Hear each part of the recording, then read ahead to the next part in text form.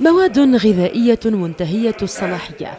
تم ضبطها في المحال التجارية ببلدتي الغريبة وبنت بية بعد جولة قامت بها دورية للحرس البلدي فرع أباري خلال الفترة الماضية. إذ تعتبر غير صالحة للاستهلاك البشري.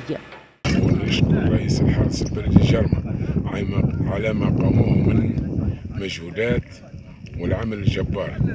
المواد كانت عبارة عن مواد غذائية وصحية انتهت صلاحيتها منذ عدة أشهر وتباع في المحل وتهدد صحة المواطنين.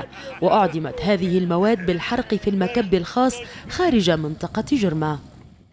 قامت دوريات فرع جهاز البلدي وادي الحياة بإعدام كمية كبيرة من المواد الغذائية متمثلة في مشروبات وبسكويت ومنظفات وبعض المواد الأخرى وتم إعدامها في المكان المخصص لها.